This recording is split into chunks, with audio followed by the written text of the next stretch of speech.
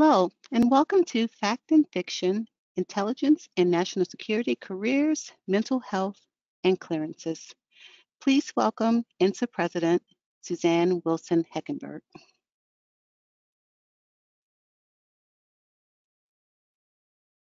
Good afternoon, and thank you for joining us for Fact and Fiction. I'm really looking forward to today's discussion it's an important one for the intelligence and national security community and those currently pursuing careers, as well as those looking to develop their future in the IC. This program today is underwritten by GDIT, who seeks to shine a light on an important issue facing many in the cleared workforce. But before we begin today's program, a couple of housekeeping notes. If you have questions, and we hope you do, please submit them through the question box on the right side of your screen. We will not share any names or organizations, so don't be shy about asking what is on your mind. We are pleased to welcome members of the press to the call today and a reminder that the program will be available on our website early next week. Now, it is my pleasure to introduce our moderator, Amy Gilliland. Amy is the president of General Dynamics Information Technology. GDIT is the technology and IT services business, unit within the General Dynamics Corporation with over 28,000 employees and 8.5 billion in revenue. GDIT serves customers in the intelligence community, DoD, and federal and civilian markets, offering a broad portfolio of capabilities in areas such as cybersecurity, AI, analytics, and high performance computing. Amy proudly graduated from the Naval Academy and served in the Navy, Navy prior to her nearly two decades of leadership positions at General Dynamics. She has been outspoken over the years about the importance of leading with compassion and is an advocate for destigmatizing mental care and self-care. I can't think of a better leader today to lead us through today's vital conversation, and quite honestly, what I think is a long overdue conversation. Amy, the stage is yours, and thank you again. Thank you so much, Suzanne. It's great to be here, and I agree with you. This is such an important conversation. The cleared community works in a high stress environment in the best of times, and it's been especially challenging for employees working in this environment throughout the pandemic. You know, the facts show that we are experiencing really a global mental health crisis, um, and as people navigate and come out of the pandemic, they're also dealing with other stresses like societal tensions and um, economic strains uh, as the the economy is is going through in inflation and other uh, sorts of pressures. One fifth of the US population has been diagnosed with mental health illness, and three quarters of US workers are experiencing symptoms of a mental health condition right now. That's what the facts say. And so certainly the intelligence community has not uh, been spared in these in these facts. And for GDIT in particular, employee suicide has been um, in part a catalyst for having real conversations over the course of the last year, year and a half about how employees are doing. In fact, we started a campaign called How Are You Really uh, to encourage employees to check in on each other and see how they're doing during these difficult times. I've made a personal commitment to have conversations about mental health across the company as a result of this campaign. And that's really what brought the idea for today, because as I've talked to employees, it became evident in interactions that there is a real stigma around mental health. So I want to thank INSA for providing a platform to have this important conversation. And I am very fortunate today to be joined by an esteemed panel. So if we can pull them up here.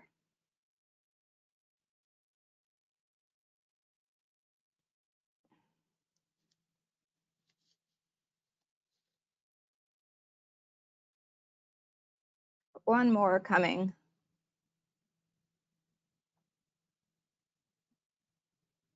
Mark, I don't know if you've accepted your, there we go. Okay, great, great, great, great.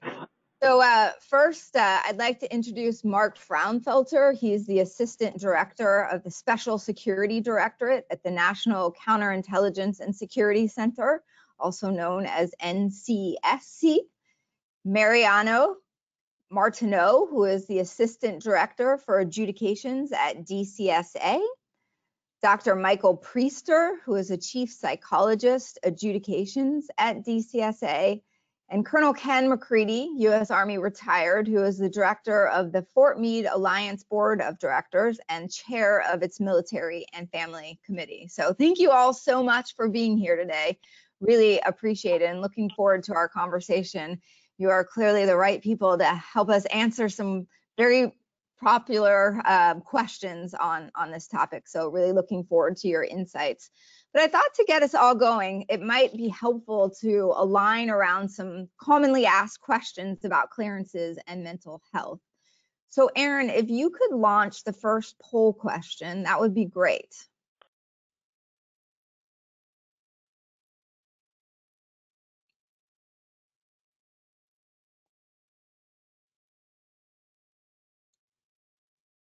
All right. What percent of clearance denials and revocations are because of psychological issues alone? Higher than 20%, between 3% and 8%, or less than 1%? We're going to give everybody a minute or two here. We got hundreds on the phone today, so want to see what the uh, the outcome of the poll is here. Let's give it another five seconds or so. I know I have uh, been asked this question a lot personally, so I am I'm glad to see us getting an answer here as we wade into the discussion today. All right, Aaron, can you bring up the poll results? All right, it looks like uh, it was pretty close between 3 and 8% and less than 1%. So I am going to turn it over to Marianna and Dr. Priester, who I think might be able to give us some insight on what the correct answer is. Yes, uh, thank you, Amy. So Marianna Martineau here. Um, we actually have some information on our website, so I was really happy to see the answer is really close to accurate in the poll, which is less than 1%. So uh, Dr. Priester, who you also have on the panel, has done an extensive amount of research on our adjudicative patterns over the last nearly 10 years at this point. And, and we've looked at every single denial and revocation that uh, the DoD CAF, well, formerly known as the DoD CAF, now DCSA, uh, has completed where guideline I, or psychological considerations, was the reason why a clearance was denied or revoked and it is less than 1%. So if we can show the upside down pyramid uh, chart, that would be great uh, because I think it is really, it is a single visual point to me that really drives home the fact that psychological considerations or mental health does, is not leading to people losing security clearances at the rate that it is perceived to be. So herein lies the stigma. So as you can see here, from 2012 to 2020, uh, the DoD and now DCSA adjudicated 5.4 million cases, right? That's a lot of security clearances that have run through our system.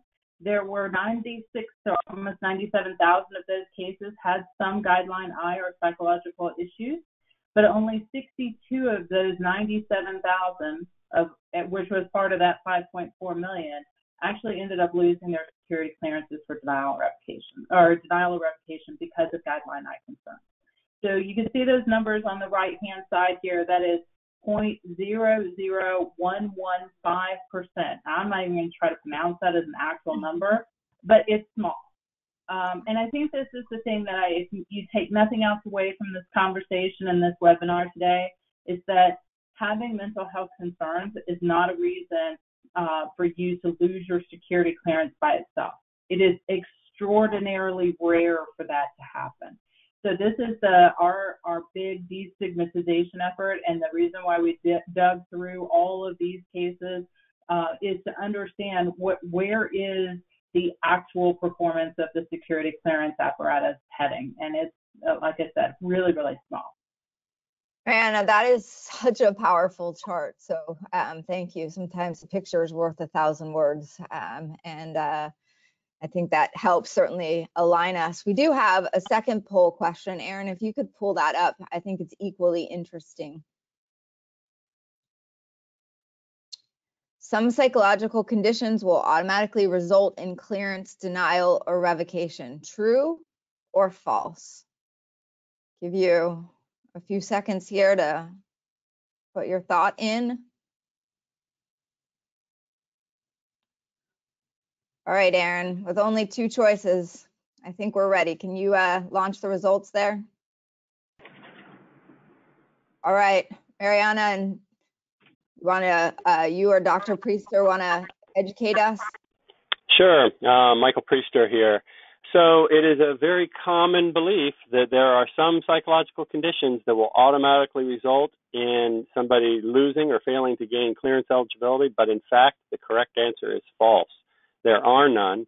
And indeed, across the national security community and the IC, I can assure you that there are individuals with a variety of different conditions, as documented in the Diagnostic and Statistical Manual, that they're able to man, uh, they're able to mitigate the concerns, usually through either remission of symptoms or through compliance with treatment. So uh, by no means are there any automatically disqualifying symptoms out there or uh, conditions out there, Rob. That's really, really helpful. And I think for for me, maybe we'll move into the question um, and answer section now. But what I heard both of you say just now um, is the word stigma, and I think I think stigma is a really great place for us to start the conversation today. So, Mark, maybe I'll start with you. Why why do you think, or at least this has been my experience, um, that there seems to be there's a stigma around mental health just in general um, in in society, but why is there even more of a stigma around mental health in the in the intelligence community? Do you have any thoughts you could share with us on that? Sure, Amy. I think um, that's a very good question. I think it stems from the overall atmosphere of going through the process of obtaining a security clearance and and becoming um, uh, occupying a position of trust. So um, there is a risk managed determination made, and, and people in the intelligence community are going through polygraphs, they're going through the investigations, and then there's an adjudicative process. And I think there's a lot of ambiguity about how that final decision is rendered, and really it comes down to a risk management decision. Um, and I think, unfortunately, a lot of people make false assumptions and believe that um, um, seeking treatment or counseling for mental health related circumstances could negatively impact um, that trust determination. So obviously, we in NCSC and throughout the DNI and throughout the intelligence community are trying to tackle that issue. And as you indicated, we want to ease that stigma yeah. and assure people of all the data that, that you just showed. But but you make a very good point, I, and I think panels like this are very important to message that. But you make a very good point. I, you know, the stigma around mental health is prevalent within the IC, but I would argue that this is associated um, throughout the workforce throughout our nation right now. And um, it's, you know, you threw out the statistics earlier. Um, we have one in four adult Ameri- Americans suffering from some sort of mental health condition, but also there was a recent uh, American Psychiatric Association report that said that 50% of all workers are concerned with discussing uh, mental health issues in the workforce. Mm-hmm. Uh, so, like all Americans, the intelligence community employees they deal with the same stressors that everyone is dealing with right now. You know, we have financial strains, um, uh, we have work problems, family issues, and and obviously that will result in depression, anxiety. Um, some turn to substances to to help um, alleviate some of those uh, illness or, or condition. So it's important that we dispel this myth about seeking support and seeking treatment um, and how it could possibly negatively impact your clearance. We want to get away from that. And obviously, um, seeking treatment is not a reason to deny or revoke a clearance, as, as you just saw. Um, so we're strongly encouraging individuals to seek mental health where needed. Um, I think it's a much larger process than just the security piece. I think we need to approach this in a comprehensive, holistic uh, type of approach, and we're doing that now. We all have a collective responsibility to do that. But the good news is, I think we're in a very unique place um, to actually address this. You know, one one good thing about the pandemic is that it opened our eyes to the importance of the mental health and well-being of the workforce. For example, in the intelligence community, we're, we're seeking um, telework opportunities. We're looking at maximizing uh, flexible work work mm. schedules and that sort of also giving excused absences for dependent care. So these things are being looked at and, and administered. So that is a good thing. But you know, speaking to the DNI, this is very important to her. Um, it's high on her list to address, and we're addressing it. And I think a lot of partnerships uh, with industry, um, with other, with DoD and the IC, and, and, just a lot of partnerships. We have a very passionate and strong um, uh, partnership moving forward. That's really encouraging to hear that the IC is looking to help employees maintain their clearances instead of the opposite, which might be the, you know, the perception. And we all know that in this area, clearances are so important to employees. Um, so I'm also really encouraged to hear the flexibility discussion. We're certainly having that discussion inside of GDIT right now, but sometimes when people are in that moment, whatever that moment is, they may just need a day at home or maybe they need a couple of days off or just that flexibility to go deal with that issue. So really encouraged to hear um, that that is a priority um, for for for the community. You know, maybe I'll just pull that string a little bit more. Um, and Ken, you know, given your military background and also what you are doing um, right now, um, I'd be interested in hearing your thoughts um, from the military's perspective. So, to what degree do you think that the current security investigation procedures and processes discourage or or not uh, military personnel, particularly those that might need post-combat assistance um, from pursuing mental health treatment that they might need? Right. Well, I'm a, I'm a retired uh, Army colonel, uh, career intelligence officer. Um, but I have a little broader perspective too because I commanded Fort Meade from 2005 to 2008. Um, and and I think it goes beyond security clearance. Intel people have that special uh, concern in the back of their mind that um, issues they're dealing with um, may impact on their clearance in the same way as, as the civilian community does, as, as was just discussed.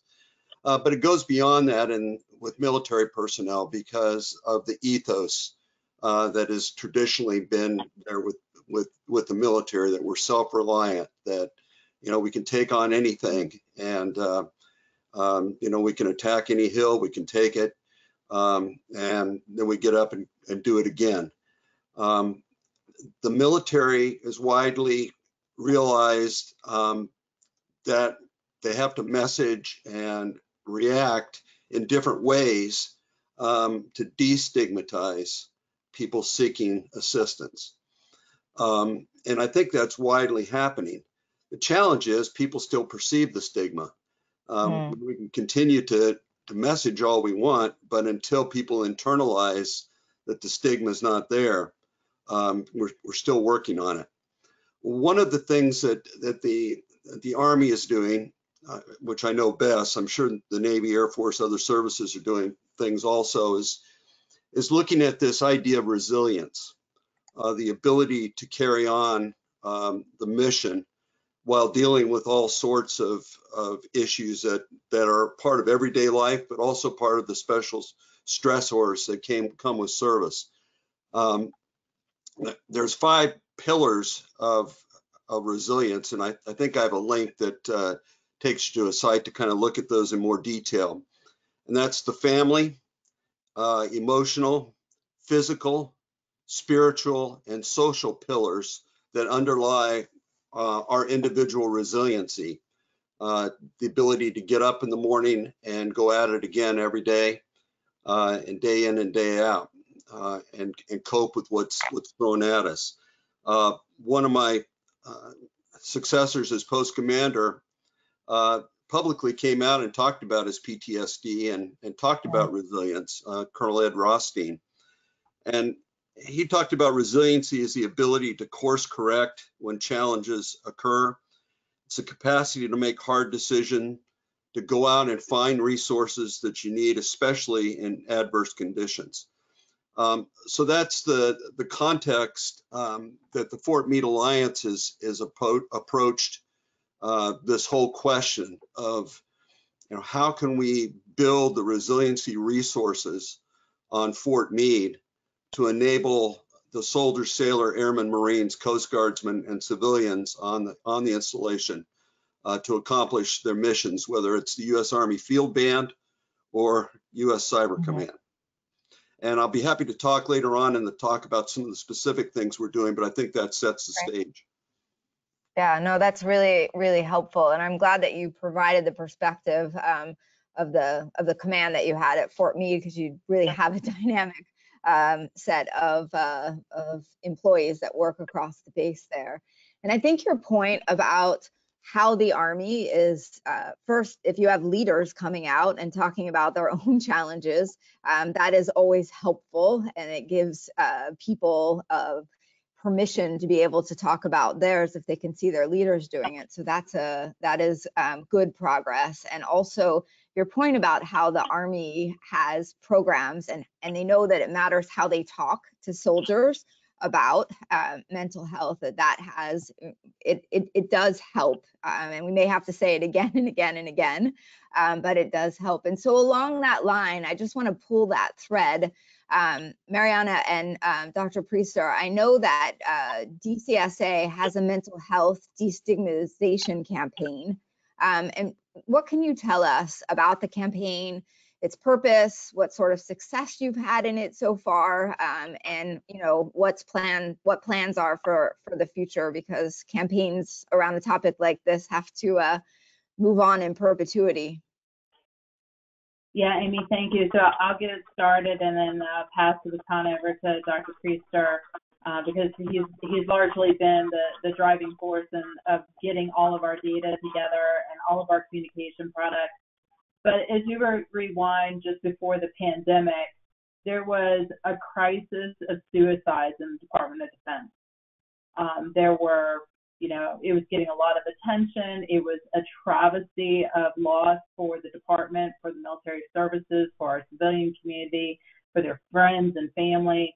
And, you know, one of the things that kept coming up is, is part of the narrative as we started peeling the onion back of inside the department was I couldn't go get mental health counseling because I was afraid that I would lose my clearance or I was afraid to lose my job or I was afraid to impact my career and you know those things really resonated with me. And and so i um, teamed up with dr priester and we started doing some analysis to debunk the myths we developed campaigns uh, on social media. In fact dcsa's number one like social media campaign was specifically about data pushing out information on mental health care and how that is is part of our security clearance process uh, and how it's not so uh, we also had recently, and I don't know if we have the link to it in the chat yet, but there was a webinar that we pushed out. It's available on our public-facing website called Mental Health and Your Security Clearance.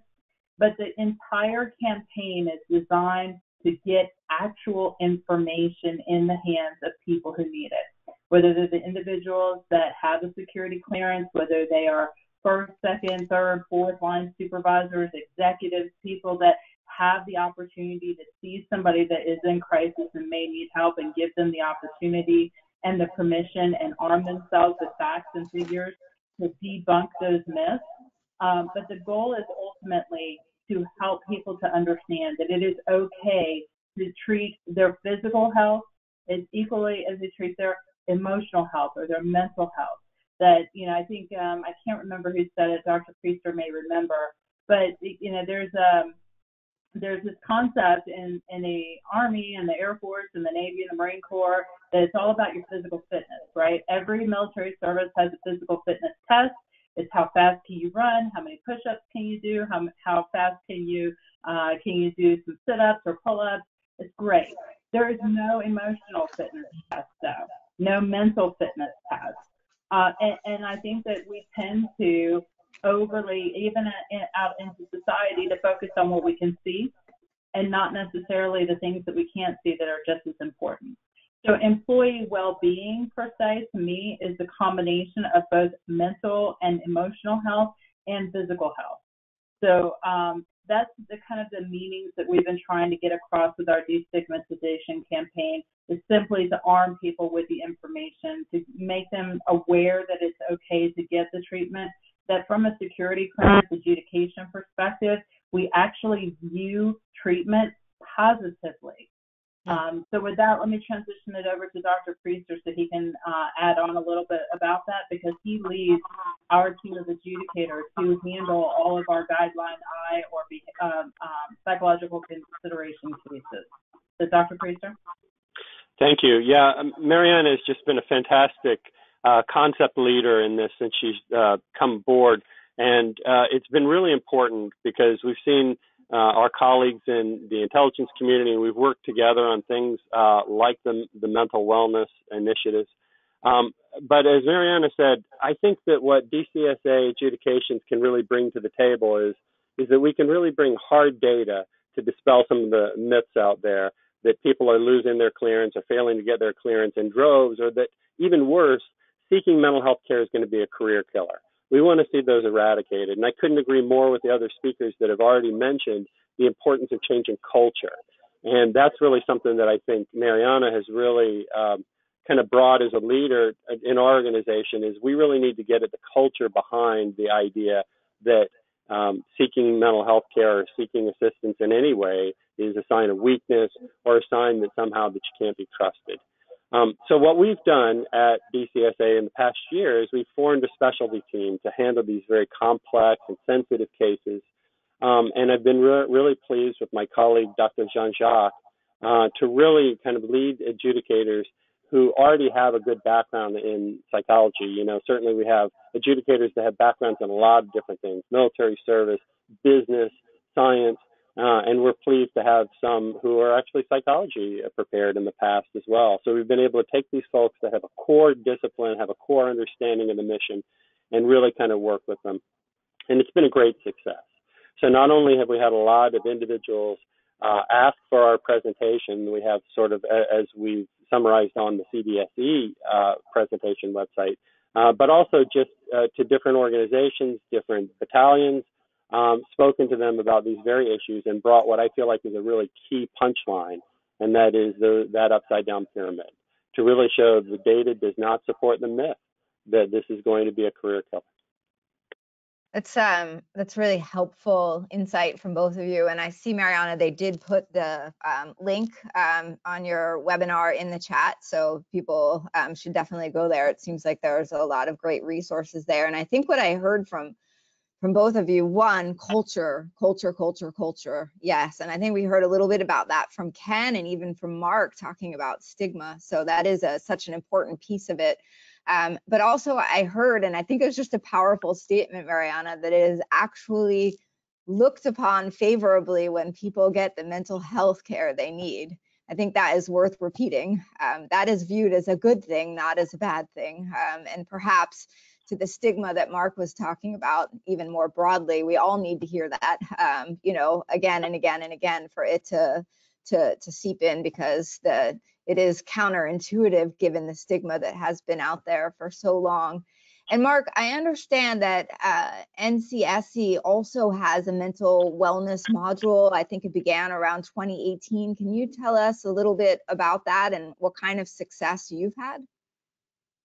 Sure, Amy. Yeah, thanks for bringing that up. It's actually um, a great module that is viewed by a lot of um, the workforce in the intelligence community. And, and I think one of the strongest pieces of evidence um, for anti stigma efforts is to involve uh, normalizing interactions with individuals who live with and experience um, uh, mental illnesses or conditions. And I believe the success of the module centers around that aspect. So, viewers can watch real life narratives um, to include senior individuals within the IC who out the narrative they use these narratives to outline experiences um, of of their battles and and how they sought mental health counseling or treatments and the benefits um, that are associated with pursuing um, and addressing um, uh, those type of conditions. So the the module was created um, actually within our director, we have a behavioral analysis research team, and they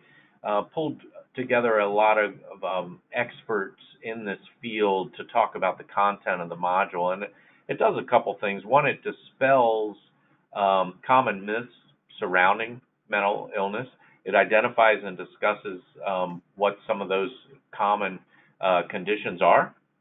And it also talks about mistakes people make when they're interacting with people in these type of discussions. But again, I think the strongest part of the module is it provides videotaped interviews with um, individuals uh, that are productive members of the workforce who are expounding on their experiences um, with mental illness. So the entire government workforce uh, would benefit from this training as, as it comprehensively provides information on mental well-being. It, it reduces the stigma um, surrounding mental illness, and it also talks about resources that are available to the intelligence community um, so that people, free resources, robust resources that people can pursue.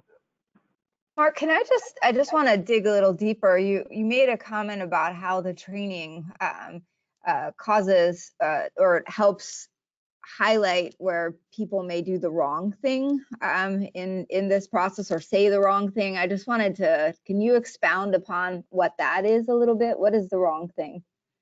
Sure. So when I say the well, one thing I just want to touch on is we are looking at um, uh, training across the board for investigators and adjudicators. So that's one aspect of it. Um, one is the investigator if someone should disclose something, what what are the questions that should be asked, right? And, and what are the things? But but as far as the wrong thing in the workplace, um, there are certain um, phrases, certain words that are thrown out, not intentionally to be offensive, but something which could be offensive um, to someone who is who is undergoing some sort of treatment right. for mental illness. Yeah, no, that's really helpful. Um, and I think if you're working both sides of it, both on the investigators who may um, uh, just be uneducated um, or misstep unintentionally, and also as colleagues and coworkers that uh, that that may unintentionally say something that they don't mean um, or that offends um, somebody that may be really struggling. So um, thank you for that. You know, one thing I'm curious about also, Mark, uh, how would you how would you address the effectiveness of the module so far on the mission. Because at the end of the day we're you know we want to take care of our people because we want our people to be well to Marianna's point physical fitness and mental wellness are are equally important. But how have you seen that uh, also impact the mission?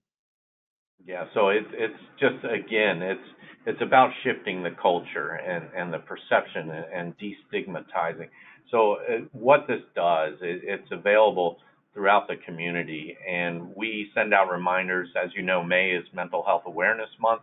Uh, during that month, we throw out the resources and, and, encourage people to look at that. I know in NCSC, uh, our directorate and, and workforce, we encourage them to look at that on an annual basis as a refresher. Um, so it has had a successful impact on shifting that culture and also destigmatizing uh, the whole um, the perception that seeking mental health um, uh, treatment and counseling would have a negative impact on your security clearance. So it's, it has really been a successful module and a campaign uh, that we've used throughout the intelligence community. Okay. Well, it certainly lets uh, the employees know that that's in uh, high, you know, it's a important place for the leadership if they're asking them to train on it annually. Um, so certainly a focus area. Ken, you uh, you alluded before that maybe you could give us a little more insight um, around what the Fort Meade Alliance is doing and the role that they are playing in helping address mental health issues um, in the intelligence community. Can you share a little bit more about that? Sure. And again, I want to put this in the in the context of, of resiliency. And mental health is only one of the pillars of resiliency. I mean, physical physical well-being's a, a pillar. The you know the stability and uh, and supportiveness of the family is a, is a pillar. Your emotional health is is a pillar. Uh, your social well-being. Um, you know, if you're a you're a uh, dorm rat and you sit and play video games all day, in the dorm with no social interaction, um, that's going to affect your mental health event eventually. so the Fort Meade Alliance and working with the installation uh, is, is attempting to help build the resiliency resources of the installation um, so that we can uh, direct ourselves broadly uh, to the needs. And in one way, the, the post is, is talks about um, a resiliency campus. And when you think about the resources that you know, I had it in my day, whether it's the gym or the child care centers or the bowling alley, the golf course way back when.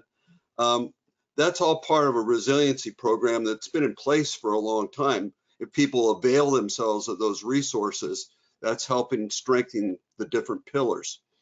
Um, the um,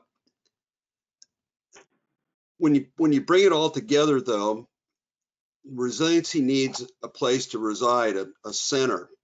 Uh, so the Fort Meade Alliance Foundation uh, undertook to raise uh, three and a half million dollars, working with companies like GD.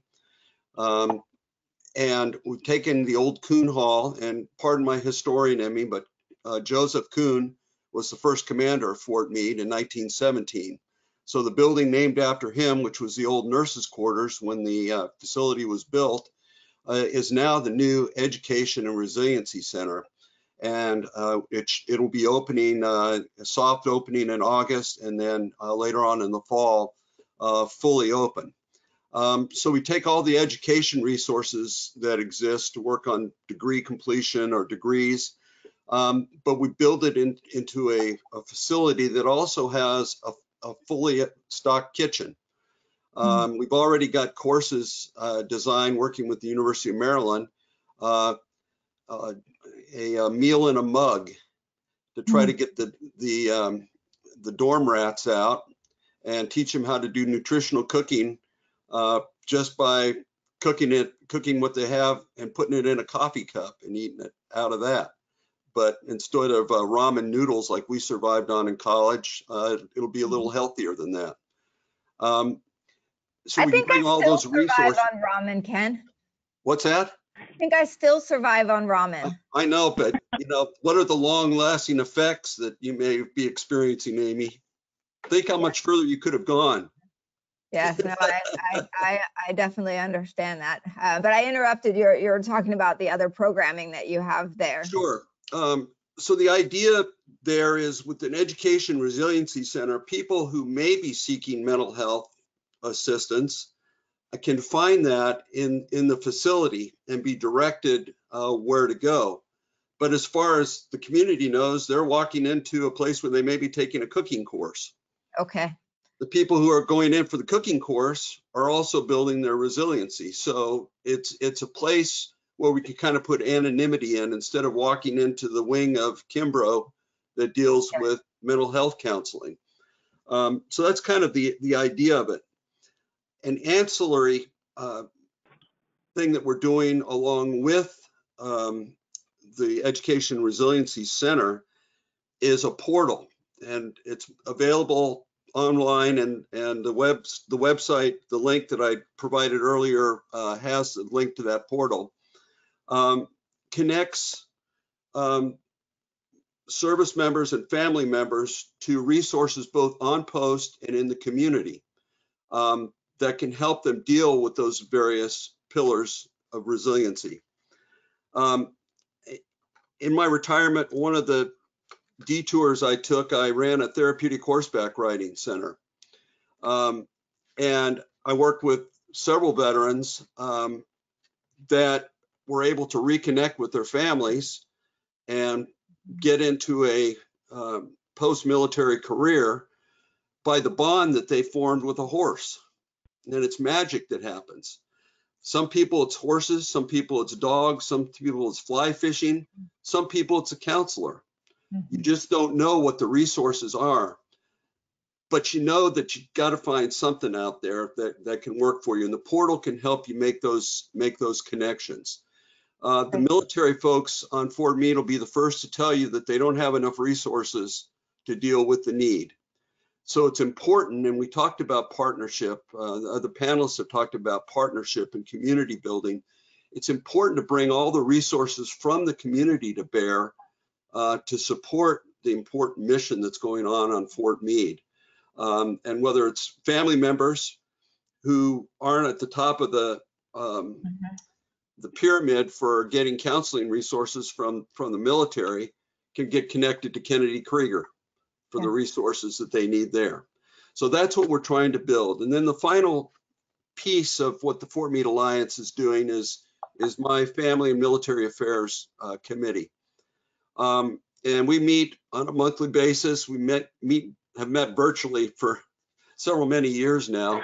Uh, but what's so cool about it is the breadth of people that are coming together um, to talk about what resources they have, uh, what things are going on on post, what things are going on off post, and the sharing that happens. And we'll have 20, 30, 40 people on our calls. But for me as the chair, what's really cool is all the networking that's going on when we hang up. People Mhm. call it, hey, that really sounds cool. I, I need to plug into what you're doing. I have people that will benefit from that resource. So that's kind of the package that that Fort Meade, the Fort Meade Alliance has put together is this educational resiliency center, a portal of installation and community resources, and a committee uh, that's looking at programmatic and and connections uh, that we can bring to support uh, support the post. So the suicide awareness uh, coordinator on post will be the first to tell you that um, his job doesn't rely on counseling. His job relies on um, just a sense of well-being of, of people, Yeah. of folks getting out and doing something.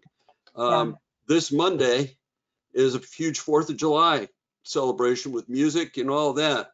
I hope there's not dorm rats, or I hope there's not families sitting in their houses, but getting out and being together and enjoying that kind of that event. And that's part of the mental health um, foundation that we that we need to have and we need to continue to resource. I will tell you, I took a tour of that building, I don't know, two months ago, and it's fabulous. So I think the point that you made, it is much easier for somebody to walk into a, a building that could be offering cooking classes or online training, or perhaps they're talking to somebody than it is to walk into Kimbrough Army Hospital for, uh, you know, mental health um, resources. And your other point about family, because we have certainly seen in our workforce that our employees' families are availing themselves of mental health resources just as much as employees are. So they are a big part of the overall equation. So I, I really appreciate that. We have lots of questions in the chat that are coming in. So I'm going to keep us moving on here. Um, and a lot of specific questions, and I'll, I'll roll some of them in here. But uh, we did establish clearly that the denial and revocation statistics that Dr. Priester have put together validate that a cleared individual is not likely to lose their clearance after seeking mental health care. So we have put that out on the table. But I do think we have to probe a little deeper here because we have some specific questions in chat and and and ones that I'm sure Marianna and Dr. Priester and Mark um, and and Ken you also have heard. So let me just ask directly, Mark, is is treatment for mental health and particularly counseling a sufficient reason to revoke or deny eligibility for a clearance? A lot of people talking to a lot of people now and and and help us understand how that impacts their status.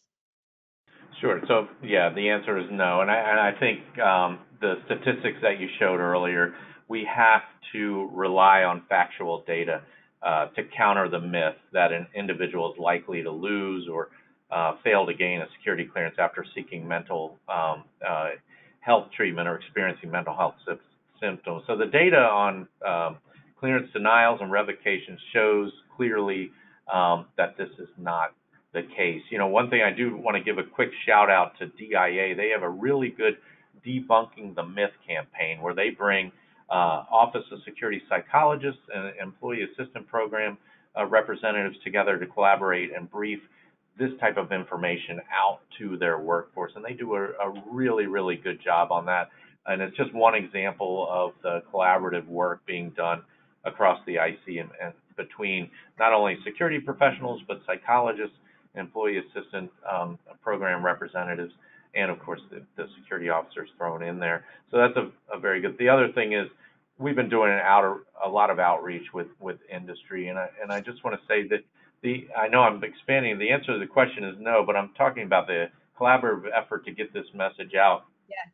And one thing with with how are you really campaign that General Dynamics is doing. Uh, there's another campaign out there. It's okay not to feel okay.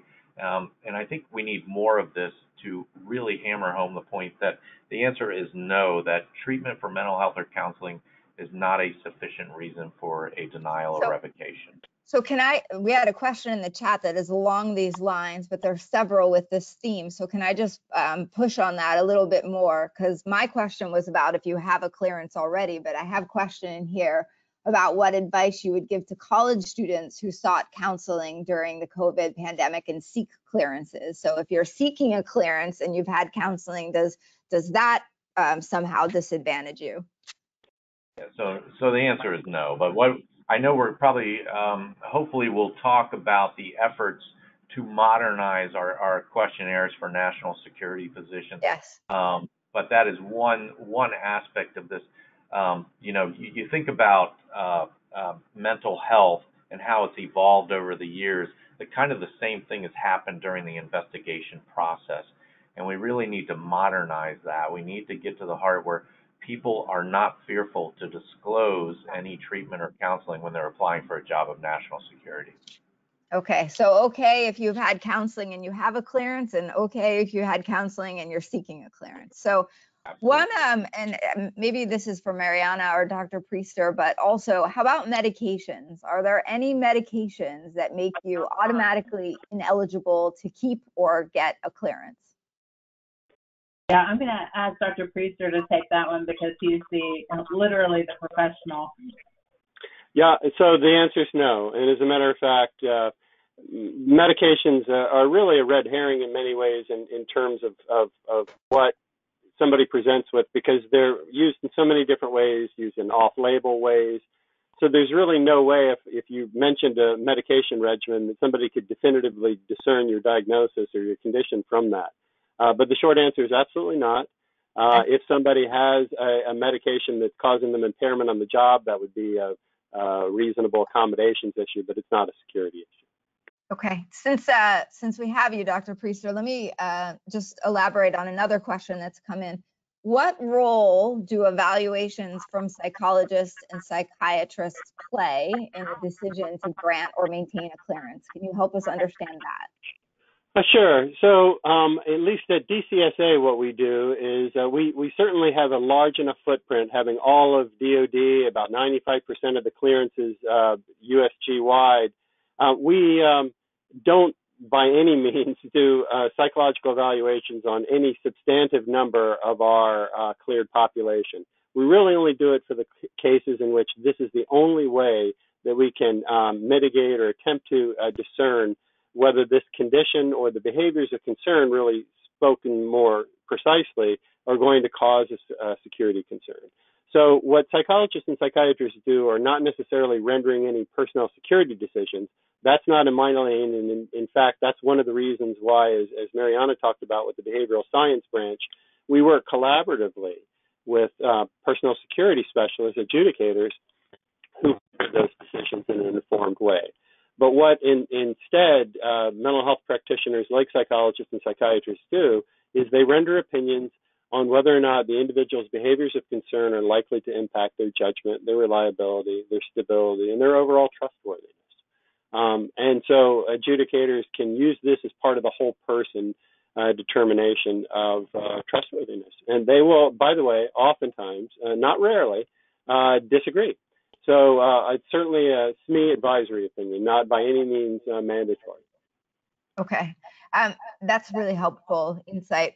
Marianna, I have a couple of questions coming in um, sort of on this thread, which is, have we taken into account the potential effects of the new 360 evaluation on a person's access for um, uh, uh, their clearance or um, individuals' mental health? Um, any thoughts on that? A lot of, you know, this continuous monitoring concept, how does that impact, um, particularly given the, you know, the mental health struggles that are out there right now? So I, I think I want to tie a couple of threads together here in the, in the response to this question. And one was to get back to what Ken was saying about the pillars of resiliency. uh, and then to uh, to Dr. Priester about how we view mental health care treatment and, and medication and the fact that you're actually getting assistance. Um, because the what we actually can find through automated records checks and continuous evaluation or continuous vetting, as it's now called, are generally things that are detectable through data. So criminal records, finances, you know, things that arrest warrants or, um, you know, parole violations. I mean, those types of things that we can detect. Um, what we, you know, what you find, and going back to Kim, you know, with the with the pillars, you know, your family connections, your uh, your spiritual connections, your physical well-being, your emotional well-being. You know, if all those things aren't together, then you're you get kind of shaky. Um, and it's you know, as it relates to specifically to mental health care, if you are, let's say, not seeking the help that you need because you're afraid, you're likely to self-medicate or self, uh, you know, take actions that will help you to feel better. That could be alcohol use, it could be drug use, it could be going out and buying, you know, 16 outfits because going shopping makes you feel better uh, until you get your credit card bill and then you don't feel better. So what I would say is that CV uh, or the continuous vetting is likely to be symptomatic of a larger issue, right? And that root cause of that issue may be a mental health concern and an undiagnosed or untreated, or the subject is self-treating. So, you know, I, tying back to that point of we view getting mental health care positively is because you as an individual are acknowledging that you need help and you're going out and getting it. And as a result of getting the assistance that you need, whether that's counseling or medication or combinations thereof, whether it's spiritual uh, assistance, whatever that assistance may be, you are often avoiding the undiagnosed consequences that come out in other ways, like alcohol and, and drug involvement and financial concerns are the big three that kind of coexist. All right, that's really answer the question per se, but no, I, I think it does. I, I, I think you've put some important threads together. I'm super cognizant of the time, so maybe we'll have a speed round here because we have uh, more questions than we have time for. But it would not be an intelligence community webinar if we did not talk about the SF86. So um, you know, Dr. Priester, you did allude to this um, before, and, and, Mark did also um, about a review of the whole person. So, Mark, maybe you can just remind us what the SF86 uh, actually says about mental health. Yes, so it does ask uh, a mental health related question, um, but I, the effort that we are currently seeking through our Trusted Workforce 2.0 effort, which Marianna alluded to, um, is we want to modernize those questions. And we want to shift from a focus on asking about um, treatment, diagnoses, to more of a behavioral approach. Um, recently, there was a working group uh, that was stood up to look at this question. And again, I use the word modernize to modernize what is being asked um, so that we are collecting the information that is relevant to an adjudicated decision. Um, so um, uh, that is undergoing. One thing I do want to touch on that Marianna talked about was the continuous vetting. Um, that's an aspect of Trusted Workforce 2.0 also. One of the key uh, aspects to uh, mental conditions is early intervention. And the fact that we're getting information in real time, I think, postures us to really treat this um, uh, investigative process have a well-being aspect to it, whereas before investigating everyone every five years didn't necessarily give us that real-time information where we can dedicate resources to correcting the issue much sooner. Dr. Priester, I'll turn it over to you for any uh, added comments. Oh no, thank you. Absolutely, and and that working group uh, has been a, a, great source of uh, kind of shared knowledge in terms of the kinds of things that matter to adjudicators and that really boil down the behaviors of concern that are security relevant. And by and large, these behaviors are transdiagnostic. They go between diagnoses. So a diagnosis is only going to show you so far. And certainly I agree that focusing on mental health care is probably the exact opposite approach we want to take. Uh, we don't want to discourage people from reporting mental health care uh, from seeking mental health care. And on the contrary, as Marianna and as others have stated repeatedly, it's the most common way that adjudicators mitigate these concerns. So a lot of questions in here along still along the counseling thread. So people want to understand if it is reportable. So if you have ongoing counseling, is that something that you need to report if you have a clearance? So one of the things that I recommend uh, when I'll get a call from a facility security officer or a, a security manager is really to look at the uh, uh, the SF86 as the right and left boundaries with this, uh, and ask the individual since they last filled out a, a post 2017 version of uh, their SF86 question 21, has their answer changed substantively? If it has, then it's probably reportable. But if if it has not, then it's probably not. And again, very briefly to review, the SF86's 5 basic uh, areas in mental health. Have you been uh, found mentally incompetent, adjudicatedly so, which is, of course, very rare? Have you had court ordered care?